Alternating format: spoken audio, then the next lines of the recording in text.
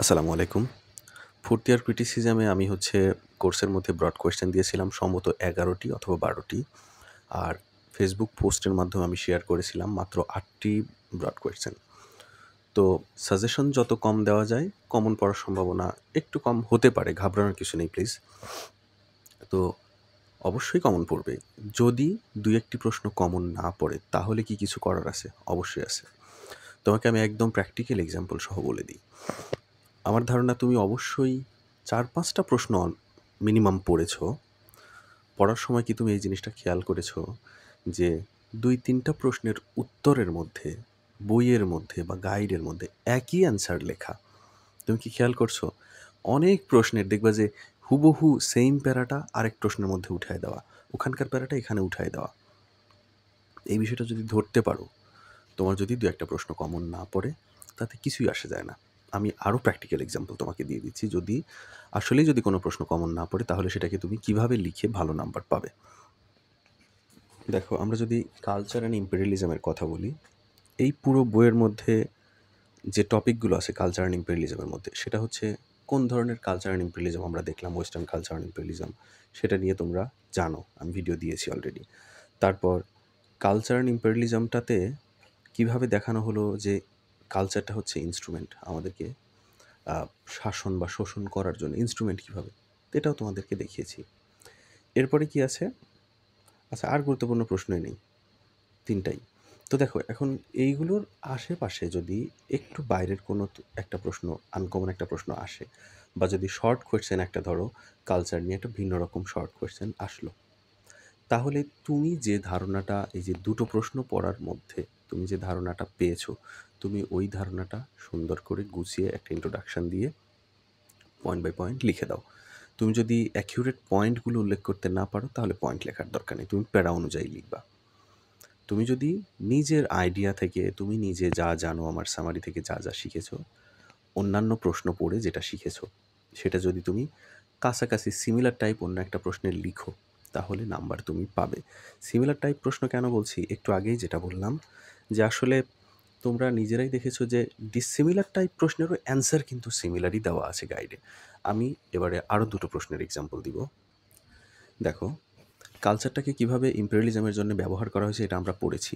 কিন্তু জোসেফ কনরাডকে কেন western ভিউসের precursor বলা হয়, এটা কিন্তু আমরা পড়ি নাই। কিন্তু মনোযোগ দিয়ে একটু মনে করে দেখো যে জোসেফ কনরাডের যে নস্ট্রমো হার্ট অফ ডার্কনেস এই উপন্যাসগুলোতে উনি কী করেছে? উনি কিন্তু ইম্পেরিয়ালিজমটাকে দেখিয়েছেন এবং নিখুঁতভাবে দেখিয়েছেন। এই কারণেই তো ওনাকে প্রিকারসার বলা হচ্ছে। প্রিকারসার মানে কি? আগাইল্লা অগ্রদূত। অর্থাৎ উনি নোভেলের মধ্যে ইম্পেরিয়ালিজমটাকে নিখুঁতভাবে মানুষের মনের মধ্যে দেখিয়ে দিয়েছেন। হোয়াইটসদেরকে দেখিয়েছেন। তারপর ব্ল্যাকদের বলো, ওদের যে সভ্যতাটাকে, এটাকে দেখিয়েছেন। তাহলে দেখো, আমরা কিন্তু এই প্রশ্নের অ্যান্সারটি পড়ি নাই, কিন্তু ব্রড কোয়েশ্চেনের ওই আইডিয়া থেকে আমরা সুন্দর করে সাজিয়ে গুছিয়ে লিখলে নাম্বার পাবো। এছাড়াও কিছু প্রশ্ন আছে যেটা তুমি পড়েছো শর্টে, আসবে ব্রড আকারে। অথবা তুমি পড়ছো ব্রডে আসবে শর্ট আকারে। এটা হান্ড্রেড পার্সেন্ট হবেই এটা। শর্টে পড়ছো, আসবে ব্রডে অথবা ব্রডে পড়ছো, আসবে শর্ট আকারে। তো এটা নিয়েও ঘাবড়ানোর কিছু নেই। তুমি ধরো শর্টে পড়ে গেছো ওটা যদি এখন ব্রডে লিখতে হয়, তাহলে কীভাবে লিখব? শর্ট কোয়েশ্চেন কিন্তু পারফেক্টলি লিখতে পারলে দুই পাতা, তিন পাতার মতো হয়। তো তুমি ওই দুই, তিন পাতা, প্রথম দুই পাতার লিখো। লেখার পরে মাঝখানে তুমি যা জানো, সেটাকে সুন্দর করে লেখো। দেন লাস্টে গিয়ে আবার যে শর্ট কোশ্চেন পুরোটা তুমি জানতা, ওটার একটা সামারি লিখবে। কনক্লুশন মানে হচ্ছে পুরো অ্যান্সারটার সামারি ইনশাল্লাহ তুমি ভালো নাম্বার পাবে। এবং এভাবে লিখতে আসলে টিচাররাই রিকমেন্ড করে এভাবে। যে কোনো একটা অ্যান্সার তুমি প্রথমে সংক্ষেপ অ্যান্সারটা লিখবা দেন ওটাকে এক্সপ্যান্ড করবা এক্সপ্লেইন করবা। শেষে গিয়ে পুরো অ্যান্সারটাকে আবার সামারি লিখবা এক পাতার মধ্যে। ঠিক আছে? দেখি আর কি পরামর্শ দেওয়া যেতে পারে। আবার আমরা যদি রাইজ অফ ইংলিশের কথা বলি রাইজ অফ ইংলিশ নিয়ে যে সামারি ভিডিওটা ছিল বেশ বড়, ওখানে কিন্তু আমি অলমোস্ট খুঁটিনাটি অনেক তথ্যই দেওয়ার চেষ্টা করেছি। দেন হচ্ছে রাইজ অফ ইংলিশের আর একটি ব্রড কোয়েশ্চেন দিয়েছি, যেটা হচ্ছে এইটিন সেঞ্চুরির পর থেকে বর্তমান পর্যন্ত rise of English language and লিটারেচারটা কীভাবে কী হয়েছে, সেখানে অলমোস্ট সব দেওয়া আছে। ভিডিওটা ফ্রি করা আছে। কোর্সের মধ্যে বা বাইরে যেখান থেকে পারো দেখে নিবা।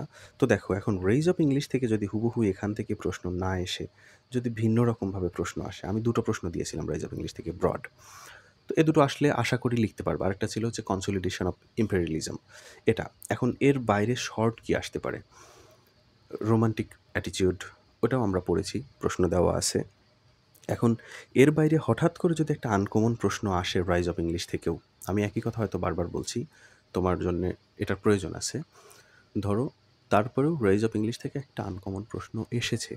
তুমি তো রাইজ অফ ইংলিশের মূল কথাটা জানো। তোমাকে মূল বক্তব্যটাকেই ওই অ্যান্সারে লিখতে হবে।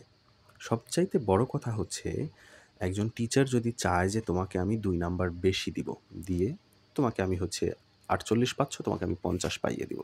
তোমার খাতায় যদি লেখা থাকে, তাহলে উনি দিতে পারবে। তুমি যদি একটা প্রশ্ন ছেড়ে আসো, তাহলে কিন্তু উনি দিতে পারবে না। ঠিক আছে? সুতরাং কোনোভাবেই কোনো প্রশ্ন ছেড়ে আসা যাবে না। অনেকেই এক্সাম দিয়ে এসে আমাকে কমেন্ট করে বা ইনবক্সে জানাও, ভাই, আমি সব কমন পড়ছে সময়ের অভাবে চারটে দিতে পারছি বা কমন পড়ে নাই চারটে দিতে পারছি। এটা করা যাবে না। তুমি যদি ভুল অ্যান্সার লেখো, তোমার তো মাইনাস নাম্বার হচ্ছে না। আর আসলে ভুল অ্যান্সার হয় না। লিটারেচারটাকে হচ্ছে এক্সপ্যান্ড করার বিষয়, ঠিক আছে? এক্সপ্লেইন করার বিষয়। এটা লজিক দিয়ে লেখা যায়। একদম উল্টাপাল্টা তথ্য না দিলে, গান না লিখলে কখনোই অ্যান্সার খারাপ হবে না বা নাম্বার ধরো খারাপ যে আসবে তা আসবে না। এই জন্য আমি বলব যে যদি, আমরা আশা করছি যে এক্সামে কমন পড়বে, যদি কোনো প্রশ্ন কমন না পড়ে, তোমার আইডিয়া থেকে তুমি যা জানো, আমি যথেষ্ট জানানোর চেষ্টা করেছি ভিডিওগুলোতে, যেটা জানো তুমি সেটাকে সুন্দর করে লিখবে।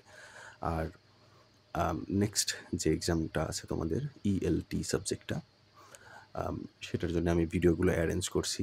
অনেক রাত হয়ে গেছে চেষ্টা করছি। দেখি কতটুকু করতে পারি। ভালো থেকো আল্লাহ হাফিজ।